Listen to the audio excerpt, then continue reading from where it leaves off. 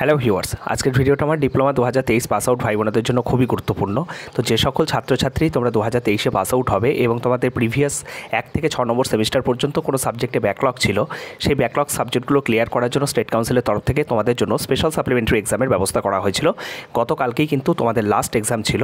তো সেই সংক্রান্ত বিষয়ে West Bengal state council of technical education থেকে রাজ্যের প্রত্যেকটা পলিটেকনিক কলেজের প্রিন্সিপাল এবং প্রিন্সিপাল ইনচার্জদের পাঠানো হয়েছে।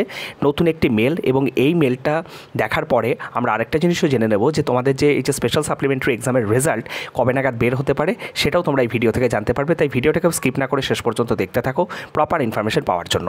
তো তোমরা দেখতে পাচ্ছ, এই মেলটা কিন্তু ফরওয়ার্ড করা হচ্ছে রাজ্যের প্রত্যেকটা পলিটেকনিক কলেজকে এবং বলা হচ্ছে submission of answer scripts of special supplementary examinations of first to six semesters held in September October two thousand twenty three তাহলে তোমাদের সেপ্টেম্বর অক্টোবর দু হাজার তেইশে যে এক থেকে ছ নম্বর সেমিস্টার পর্যন্ত যে স্পেশাল সাপ্লিমেন্টারি এক্সাম যে কন্ডাক্ট হলো, তার যে খাতা সাবমিশন বা তার যে আনসার স্ক্রিপ্টগুলো সাবমিশনের বিষয়ে কিন্তু মেলে বলা আছে। কি বলা আছে সেটা আমরা দেখে নেব। তো তোমরা দেখতেই পাচ্ছ মেলটা কিন্তু পাঠানো হচ্ছে to the principal principal incharge all concern diploma institutes sir madam মেলের বিষয়বস্তু কি বলা আছে দেখে নাও। This is to inform you that the answer scripts of special supplementary examinations of first to six semesters September October two thousand twenty three must be submitted to the concern CDCs latest by thirteenth October two thousand twenty three তার বলা হচ্ছে যে সমস্ত কলেজের principal এবং principal ইনচার্জদের বলা হচ্ছে যে আপনাদের কলেজে যে স্পেশাল সাপ্লিমেন্টারি এক্সাম যেটা কন্ডাক্ট হলো, গতকালকে যার লাস্ট ডেট ছিল, তো সেই সমস্ত খাতাগুলো যে সংশ্লিষ্ট যে সিডিসি সেন্টারগুলো আছে, সেখানে কিন্তু তেরো দশ দু হাজার তেইশের মধ্যে কিন্তু জমা করতে হবে। হবে। Institute CDC matrix of submission of answer scripts for the even semester external theoretical examination July August two thousand twenty three reference memo number memo নম্বরটা তোমরা দেখতেই পাচ্ছ।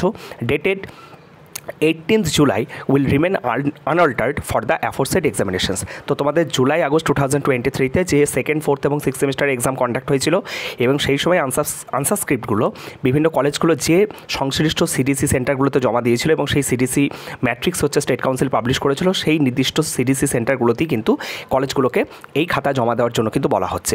This is for your kind information and necessary action please এবং এই সম্পর্কিত বিষয়ে যাতে বিষয়টা হচ্ছে সহযোগিতা কাম্য করে বিভিন্ন কলেজগুলো এবং বিভিন্ন ধরনের যে প্রয়োজনীয় যে অ্যাকশনগুলো নেওয়া, সেটা যাতে কলেজ এন্ড থেকে নেওয়া হয়, সেটার বিষয়ে কিন্তু স্টেট কাউন্সিল জানাচ্ছে। এবার তোমাদের প্রশ্ন হচ্ছে যে, দাদা, আমাদের রেজাল্ট কবে নাগাদ বের হতে পারে? তো তোমাদের আমি ইনিশিয়ালি কিন্তু বলেছিলাম যে, নভেম্বরের লাস্ট উইকে থেকে তোমাদের রেজাল্ট বেরোনোর একটা সম্ভাবনা রয়েছে স্পেশাল সাপ্লিমেন্টারি যে পরীক্ষা হলো।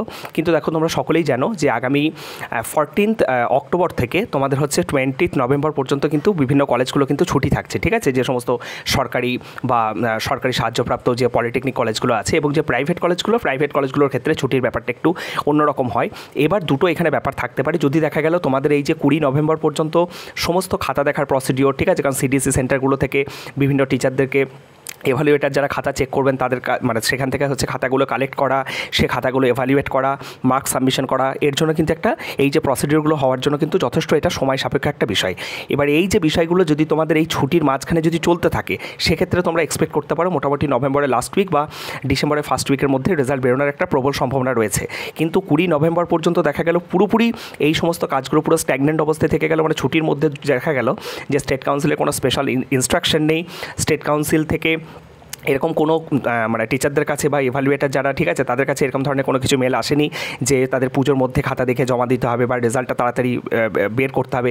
এই জাতীয় কোনো ধরনের কোনো যদি কনফার্মেশনস না আসে এবং কুড়ি তারিখ পর্যন্ত যদি এই যে তেরো তারিখে তোমাদের সিডিসি সেন্টারগুলোতে খাতা জমা পড়ছে, এরপরে যদি কোনো ধরনের কোনো প্রোগ্রেশন না হয়, সেক্ষেত্রে কিন্তু মিড অফ ডিসেম্বর পর্যন্ত কিন্তু তোমাদের রেজাল্ট যে মানে মোটামুটি একটা তোমরা ধরে রাখতে পারো যে সেকেন্ড বা থার্ড উইক পর্যন্ত কিন্তু চলে যেতে পারে তোমাদের রেজাল্ট পাবলিশ হতে, ঠিক আছে? মানে সেকেন্ড বা থার্ড উইক অফ ডিসেম্বর সেক্ষেত্রে কিন্তু অনেকটাই ডিলে হবে এবং বহু ছাত্রছাত্রী কিন্তু সেক্ষেত্রে সমস্যায় পড়বে। তো এই সম্পর্কিত বিষয়ে যদি কোনো ধরনের কোনো আপডেট আসে স্টেট কাউন্সিল থেকে, অবশ্যই পরবর্তীতে আমি তোমাদের সাথে শেয়ার করে নেব। সকলে ভালো থেকো, সুস্থ থেকো। Thank you